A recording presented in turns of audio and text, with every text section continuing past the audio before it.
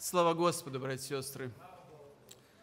Слава Господу за прекрасный гимн хористы, который вы спели, за то, что Господь с нами в это утро, за то, что мы еще способны сегодня откликаться на Божий призыв, откликаться на Его божественное Слово.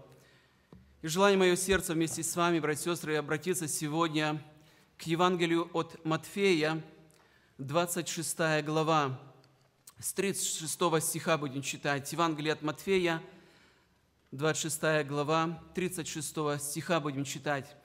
Потом приходит с ними Иисус на место, называемое Гефсимания, и говорит ученикам, «Посидите тут, пока я пойду, помолюсь там». И, взяв с собой Петра и обоих сыновей Завидеевых, начал скорбеть и тосковать. Тогда говорит им Иисус, «Душа моя скорбит смертельно, побудьте здесь и бодрствуйте со мною». И, отойдя немного, пал на лицо свое, молился и говорил, «Отче мой, если возможно, доминует меня чаша сия. Впрочем, не как я хочу, но как Ты».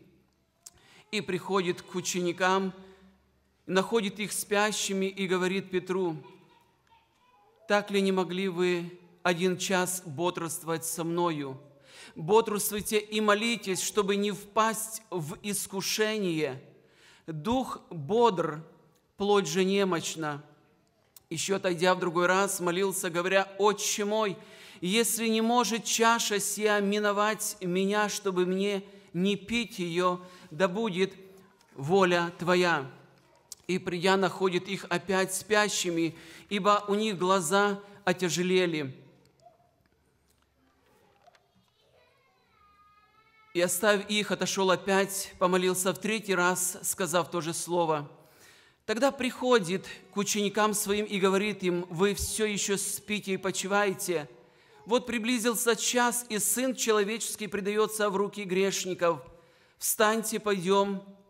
Вот приблизился предающий меня. Дорогая церковь, дорогие братья и сестры, в эти дни и последующие дни в церквях, на христианском радио, на христианском телевидении, где транслируется проповедь, служение, я уверен, звучит одна тема. Тема о последних событиях жизни нашего Господа, о Его страдании – о Его великом подвиге, который Он совершил. И вместе с вами я бы хотел сегодня кратко остановиться, остановиться на вот этом эпизоде жизни нашего Господа, а именно Его молитвенном борении в Гефсиманском саду. Братья и сестры, этот эпизод положен в основу многих стихотворений, написано множество картин, множество музыкальных произведений, много проповедей – я бы назвал, знаете, общая есть тема моления о чаше, в котором выражена томление, скорбь, борьба и победа нашего Господа. И я убежден, что причина этому люди во все времена истории церкви хотели понять, что же происходило в Гефсиманском саду – о чем молился Иисус Христос, трижды преклоняя свои колени, вопияя к Отцу в этой борьбе и прося пронести чашу, если возможно, мимо Него. Эти события всегда служили предметом насмешек и критиков, атеистов и безбожников – они задают вопрос, какой же это Бог, если Он скорбит и ужасается перед лицом еще не казни. Тело нашего Господа еще не коснулись истязатели. Его руки еще не прибиты ко Христу. И они говорят, почему же Христос страдает и мучится, и томится, и просит пронести чашу мимо Него – Ученые, которые исследуют Новый Завет, называют этот эпизод критерием неудобства. Этот критерий состоит в том, что эти свидетельства молитвы в Гефсимании должны были быть для ранней церкви как бы неудобны. Обратите внимание, когда первая церковь, первые христиане получили написанное Слово Божие, в которых описывается этот эпизод, они должны были, по мнению как бы ученых, как бы неудобными. Почему? Потому что должны были как-то оправдать Господа. Что-то здесь не так, что-то здесь не оправдано. Почему нету объяснения? Потому что всегда так бывает, когда люди не могут что-то объяснить, обычно умалчивают или пытаются как-то уйти в сторону. Братья и сестры, но ранняя церковь, которая получила эти свидетельства, ничего не стала менять потому что на этом отрывке стоит печать подлинности, печать Святого Духа. На этом отрывке церковь учится, братья и сестры, и мы вместе с вами. Итак, Гефсимания, в переводе «масляничный пресс». Что мы видим в Гефсимании, братья и сестры, когда мы внимательно смотрим на эту историю – мы видим, что три евангелиста посвятили этому событию, описанию этой молитвенной борьбе три евангелиста. И все они подчеркивают одну очень важную вещь. Это прежде всего состояние самого Иисуса Христа. Если мы прочитаем параллельно Матфея, Марка, Луки, мы увидим, что он берет троих учеников и говорит, побудьте здесь, а я пойду и помолюсь там. И состояние его, братья сестры, евангелист Матфей передает, что Христос начал скорбеть и тосковать. Не было еще людей, которые пришли бы за ним, воинов Иуды. Христос прямо падает как бы на лицо свое и говорит, он начал скорбеть и тосковать, и говорит о своей состоянии, своей душе так. Душа моя скорбит смертельно. Евангелист Марк пишет, что Христос стал ужасаться и тосковать. Лука пишет, что Христос, находясь в Барении, обратите внимание, это не просто была молитва, находясь в Барении, прилежне молился, и был пот его, как капли крови, падающие на землю – Братья и сестры, возникает вопрос, почему? Что произошло в тот момент, когда Иисус Христос вошел и начал молиться? Что происходило в Его душе, когда Его тело еще не было подвержено истязаниям? Все эти свидетельства указывают на величайшее эмоциональное переживание, братья и сестры. История знает только несколько эпизодов, когда человек в огромном переживании эмоциональном, его капилляры, сосуды его лопались, и капли крови были, падающие на землю, и пот его был, как капли крови, падающие на землю. Христос находился в борении, подчеркивает евангелист. Возникает вопрос, с кем он боролся? Кто мог стать на пути Иисуса Христа, чтобы он не совершил искупления рода человеческого? Безусловно, мы понимаем, что все силы тьмы восстали – когда мы читаем Евангелие от Матфея, 4 главе, помните, после крещения Христос был веден Духом Святым в пустыню для искушения от дьявола. Там тоже была величайшая борьба. И она заканчивается тем, что и оставил его дьявол, на время оставляет его. Поэтому мы убеждены, верим, что здесь это была борьба. На пути его стал дьявол со всей силой тьмы для того, чтобы не допустить до Голгофы. Вторая мысль, которую бы хотел обратить внимание, это содержание молитвы Иисуса Христа. Оно было простым, братья и сестры, это не была длинная, пространная молитва за учеников, за церковь, за каких-то людей, братья и сестры, абсолютно нет. Молитва Христа была простой, она заключалась в простой просьбе, которая повторялась трижды. «Отче мой, если возможно, доминует меня чаша сия. Буквально в этой главе мы читаем, что накануне была вечеря Господня, где Господь Иисус Христос преподал своим ученикам заповедь воспоминать Его страдания. И Христос держал в руках чашу, и ученики принимали чашу. И мы понимаем, что чаша – это образное выражение. Но мы понимаем, что когда Христос говорит о чаше, и в одном месте, чтобы не пить ее, значит, Он говорит о том, что что-то предложено, то, что Он должен взять на себя, то, что должно стать Его частью, то, что войдет в Него. Он не просто ее поддержит, Он просит, чтобы не пить эту чашу – и третий важный момент, который мы находим в этой молитве, братья и сестры, Христос упоминает о воле своей и о воле Божьей, и воле Отца Небесного. Он трижды говорит, впрочем, не моя воля, но твоя да будет. Впрочем, не как я хочу, но как ты. Итак, что же это было за молитва? Братья и сестры, мы видим в Священном Писании Иисуса Христа как Бога-человека. Божественная и человеческая природа соединилась в нем в одном лице. Мы не так давно отмечали праздник, когда ангел явился Марии и сообщил о том, что придет в мир Спаситель, и она станет матерью Господа – мы праздновали так давно праздник Рождества. Это праздник Бога воплощения, когда Бог явился во плоти. И когда мы смотрим на жизнь Иисуса Христа, как Бог Иисус Христос был един, един с Богом Отцом и имел с Духом Святым абсолютную единую волю, которая никогда не была нарушена и никогда не была знаете, разобщена между Святой Троицей.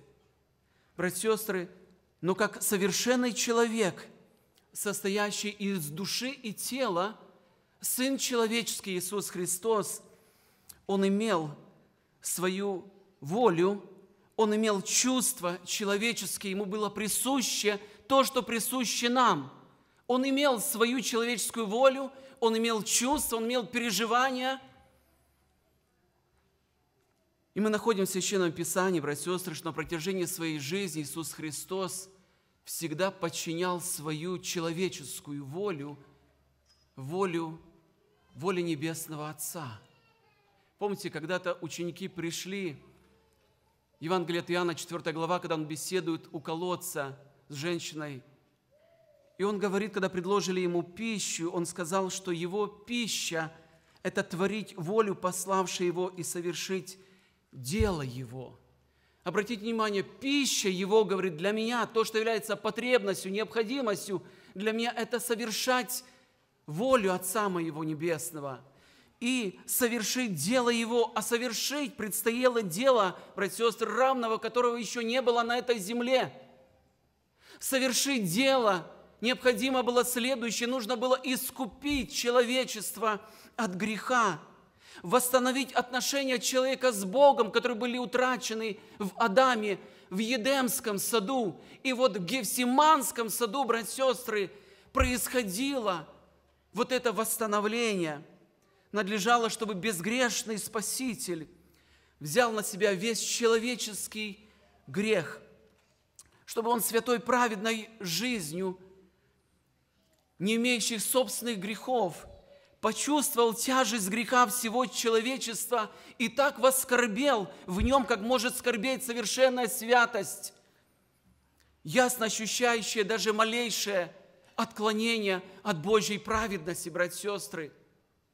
Я уже упомянул, что в Едемском саду, братья и сестры, человек по имени Адам, который представлял весь человеческий род, он не устоял, он потерял – находясь в идеальных условиях, имея всего лишь небольшое условие, которое было ему поставлено, и он не устоял в этом. И вот прошли века, прошло поколение,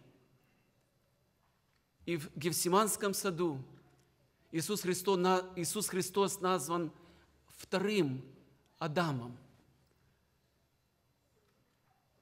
Он начинает эту борьбу за нас с вами надлежало, чтобы тот, в ком было соединено Божье и человеческое, своим безгрешным человеческим естеством испытал весь ужас удаления человека от Бога. Более того, братья и сестры, надлежало, чтобы безгрешный праведник, отверженный этим миром, способен и захотел добровольно взять на себя последствия греха всего человечества. Братья и сестры, мы, наверное, никогда не поймем, что Христос переживал в Гефсиманском саду. Но я хочу сегодня обратиться ко всем нам, братья и сестры, кто из нас хотя бы в какой-то мере не испытывал чувство вины за наш собственный грех – что мы испытываем? Пусть незначительный. Наша совесть, мы теряем мир, мы чувствуем бремя, мы ищем успокоения, мы ищем выхода. Братья и сестры, можем себе представить, начиная от Адама и абсолютно на протяжении всех этих веков, и то, что будет продолжаться еще до последнего человека, до того времени, когда Бог закроет дверь благодати – грехи всех, абсолютно всех, братья и сестры, людей, и последствия добровольно Христос должен был взять на себя и нести последствия, потому что грех, братья и сестры, это не только распятый Христос. Грех, он многоликий, он поражает все естество, наши чувства, наши мысли, наш разум, наш дух, наше тело.